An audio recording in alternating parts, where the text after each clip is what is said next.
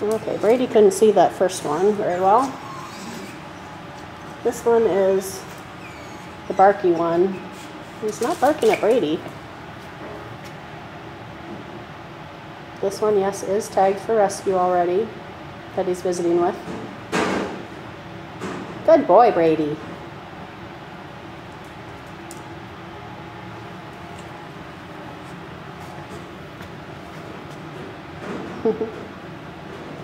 Good boy. Let's we'll go see the big ones. Yeah, that one's an old one. That one can't even see that you're here. Let's go see the other ones. Let's see Asiago. Asiago is an intact male, larger than Buddy. No initial reactions to him. So I know that was one issue one of my dogs had is he didn't like intact males that were bigger than him. Oh, stop and see this one. This is a pretty girl.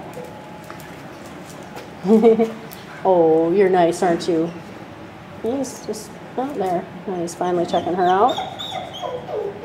Good tail.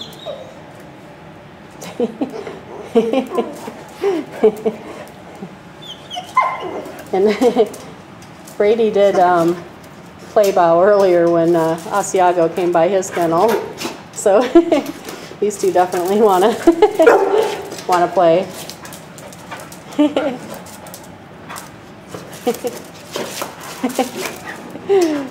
Look at you two. Look at how cute you are.